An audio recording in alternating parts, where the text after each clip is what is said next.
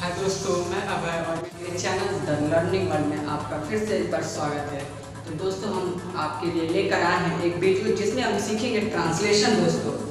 तो दोस्तों, चाहे एकेडमिक एग्ज़ाम हो, चाहे कम्पिटेटिव एग्ज़ाम हो, चाहे कोई जॉब या फ़ील्ड जॉब फ़ील्ड ही क्यों ना हो, हर फ़ील्ड में इंग्लिश की इंग्लिश मस्ट हो गई है दोस्तों। तो इंग्लिश जितनी ज़रूरत है, उतनी ही बड़ी हमारे लिए इंग्लिश प्रॉब्लम बन गई है दोस्तों तो इस प्रॉब्लम का सॉल्यूशन हम लेकर आए हैं ट्रांसलेशन दोस्तों। तो इस वीडियो में हम सीखेंगे ट्रांसलेशन दोस्तों। तो हमें ट्रांसलेशन में सबसे पहले सीखेंगे स्ट्रक्चर ऑफ़ सेंटेंस तो स्ट्रक्चर ऑफ़ सेंटेंस में दोस्तों, चाहे वो कोई भी टेंस क्यों ना हो, चाहे इनडेफिनिट प्रेजेंट इंडेफिनिट हो, चाहे पास्ट इंडेफिनिट हो, चाहे फ्यूचर इंडेफिनिट हो, चाहे प्रेजेंट कंटिन्यूस हो चाहे पास्ट कंटिन्यूस हो चाहे फ्यूचर कंटिन्यूस हो चाहे कोई वो परफेक्ट का टेंस ना हो चाहे वो परफेक्ट कंटिन्यूस का टेंस हो चाहे कोई मॉडल हो दोस्तों हर टेंस में ए टू जे हर टेंस में केवल एक ही स्ट्रक्चर का यूज़ होता है जो सामने आपके बोर्ड पे लिखा हुआ है दोस्तों। तो इस, इस यही स्ट्रक्चर ए टू जे कोई भी टेंस क्यों ना हो हर टेंस में इसी स्ट्रक्चर का यूज़ करते हैं दोस्तों।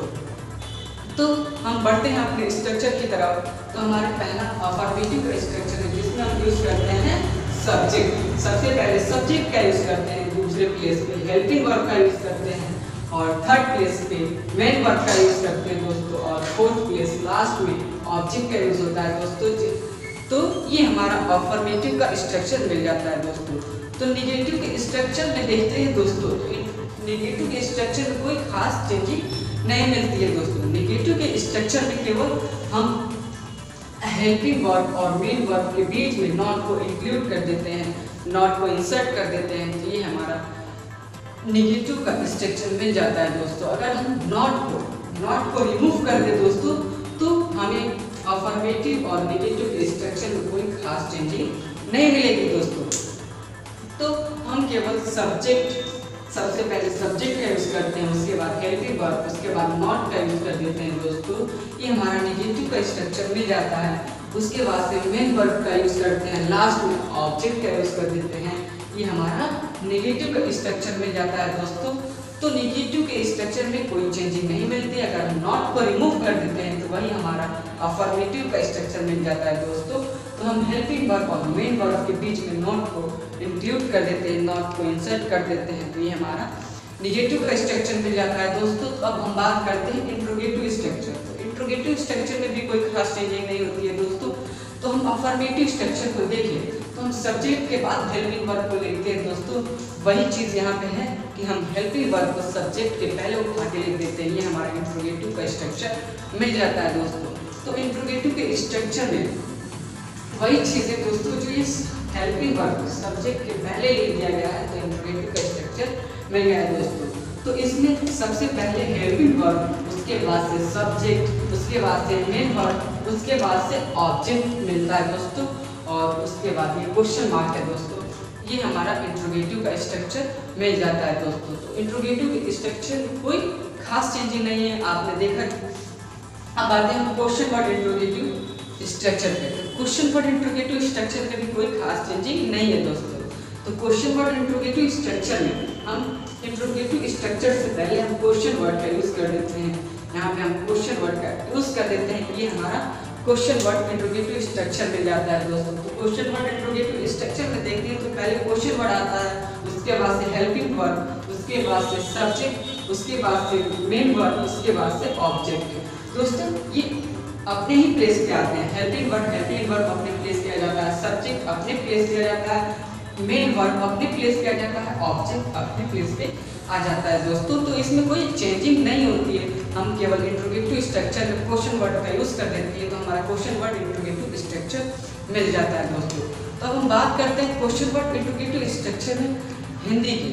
तो हिंदी के स्ट्रक्चर में क्वेश्चन क्वेश्चन वर्ड आता है। जैसे क्या आ जाता है तो हम वर्ड का यूज़ कर लेते हैं क्वेश्चन वर्ड पे क्यों आता है तो वाई का यूज़ कर लेते हैं। वेयर कहाँ आ जाता है तो हम वेयर का यूज़ कर लेते हैं। कब आ जाता है तो हम वैन का यूज़ कर लेते हैं। दोस्तों, हम अपने सेंटेंस की हिंदी के अकॉर्डिंग क्वेश्चन वर्ड को हम क्वेश्चन वर्ड की जगह पे हम अपना क्वेश्चन वर्ड के वर्ड रिप्लेस करते रहते हैं अकॉर्डिंग चेंज करते रहते हैं। हमारी जैसे सेंटेंस के अकॉर्डिंग हम अपने क्वेश्चन वर्ड को चेंज करते रहते हैं, दोस्तों। तो सारे सेंटेंस में यही एक स्ट्रक्चर यूज़ होता है तो दोस्तों आप पूछेंगे, इसमें चेंजिंग क्या होती है? तो दोस्तों, हम सेंटेंस को चेंज करते समय केवल इसमें दो चीज़ों का रोल होता है। पहला तो होता है हेल्पिंग वर्ड और दूसरा होता है मेन वर्ड दोस्तों। यही यही दो चीज़ों, चीज़ हैं जिसके हम कमांड बना ले तो हमें ट्रांसलेशन चुटकियों में सॉल्व कर सकते हैं, दोस्तों। जब हम सेंटेंस को हिंदी से इंग्लिश ट्रांसलेट करते हैं तो हमें केवल हमें केवल हेल्पिंग वर्क और मेन वर्क पर ध्यान रखनी होगी दोस्तों। तो यही दो चीज़ है हेल्पिंग वर्क और मेन वर्क दोस्तों। किसी दो चीज़ों में चेंज होती है दोस्तों। बाकी जितने भी एलिमेंट्स हैं अपने अपने ही प्लेस पे आ जाते हैं दोस्तों। इसमें कोई चेंजिंग नहीं होती है। हेल्पिंग वर्क और मेन वर्क अपनी टेंस के अकॉर्डिंग अपनी अपनी फॉर्म और अपनी अपनी अपनी अपनी फॉर्म को वो चेंज करती रहती है। अगर वो इंडिफिनिट का टेंस है तो हम वर्ब का फ़र्स्ट फॉर्म यूज़ करेंगे। अगर पास्ट परफेक्ट का है तो हम वर्ब का थर्ड फॉर्म यूज़ करेंगे। कंटिन्यूस है तो वर्ब की आईएनजी फॉर्म यूज़ होती है दोस्तों, अगर परफेक्ट कंटिन्यूस है तो इसमें भी वर्ब की आईएनजी फॉर्म होती है। लेकिन इसमें जो मेन वर्ब होता है, इसमें सबसे बड़ा रोल मेन वर्ब का होता है दोस्तों, कि उसके बाद हेल्पिंग वर्ब सबसे ज़्यादा ध्यान हमें हेल्पिंग वर्ब में रखनी होगी दोस्तों, क्योंकि हर टेंस में अलग अलग हेल्पिंग वर्ब यूज़ होता है दोस्तों। तो हम आपको बार बार याद दिलाते रहेंगे कि हेल्पिंग वर्ब किस टेंस में कौन सा हेल्पिंग वर्ब यूज़ किए जाएँगे दोस्तों। अगर हम प्रेजेंट इंडेफिनिट का बात बात करते हैं तो इसमें टू और बस हेल्पिंग वर्ब यूज़ होता है और वर्ब की फ़र्स्ट फ़र्स्ट फॉर्म यूज़ होती है। और हम बात करते हैं पास्ट इंडेफिनिट का, इसमें केवल वर्ब की फ़र्स्ट फॉर्म यूज़ होती है। और हेल्पिंग वर्ब डिड का यूज़ होता है।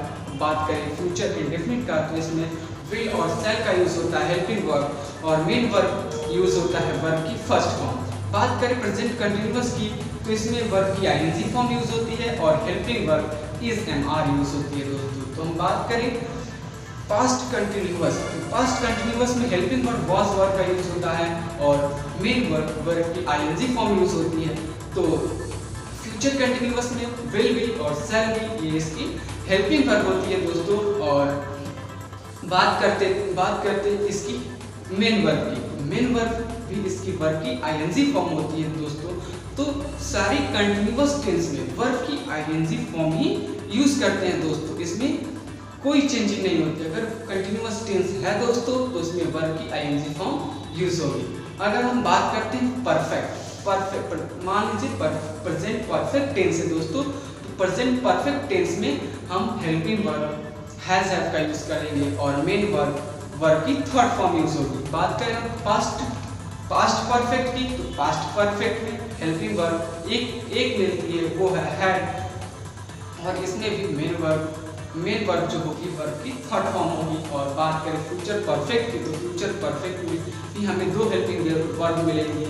विल हैव सेल हैव और इसमें भी वर्ब की थर्ड फॉर्म की यूज़ होगा। तो दोस्तों, इसमें भी हम सीख लेते हैं। ये ध्यान रहे कि अगर परफेक्ट का टेंस कोई है तो वर्ब की थर्ड फॉर्म यूज़ होगी। और परफेक्ट कंटिन्यूस है तो दोस्तों, इसमें वर्ब की आईएनजी फॉर्म ही मिलेगी। तो दोस्तों ये चीज़ याद रखना है कि कंटिन्यूस का टेंस है तो वर्ब की आईएनजी फॉर्म ही यूज़ होगी। परफेक्ट का टेंस है तो वर्ब की थर्ड फॉर्म मिलेगी। और परफेक्ट कंटिन्यूस टेंस है तो वर्ब की आईएनजी फॉर्म का हमेशा हम यूज़ करेंगे दोस्तों। तो ये जो मैंने चीज़ बताई, ये जो मैंने अभी ट्रिक और टिप्स बताई हैं, इसको आपको ध्यान में रखना होगा दोस्तों, क्योंकि ये मेन चीज़ें टेंस की चेंजिंग करते समय ही हमें हमेशा याद रखना होगा दोस्तों। तो दोस्तों, मान लीजिए प्रेजेंट कंटिन्यूस का एक टेंस ले लेते हैं, वह स्कूल जा रही है। तो he is going to school he is not going to school is he going to school by is he going to school तो सर, ऐसे ही दोस्तों, हमें टेंस की रिवीजन करना है प्रैक्टिस करना है ओरल प्रैक्टिस करना है दोस्तों। 10 से 5 मिनट तक आपको इस टेंस की प्रैक्टिस करना है डेली प्रैक्टिस करना है दोस्तों।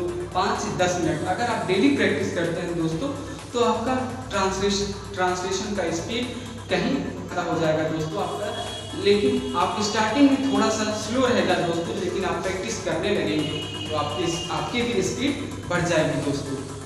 तो दोस्तों आप मिलते हैं आपसे अगले वीडियो में। अगर वीडियो हमारी अच्छी लगी हो हेल्पफुल हो तो हमारे चैनल को सब्सक्राइब कीजिए और नोटिफिकेशन बेल को भी ऑन कर लीजिए, ताकि हमारी वीडियो सबसे पहले आप देख सकें।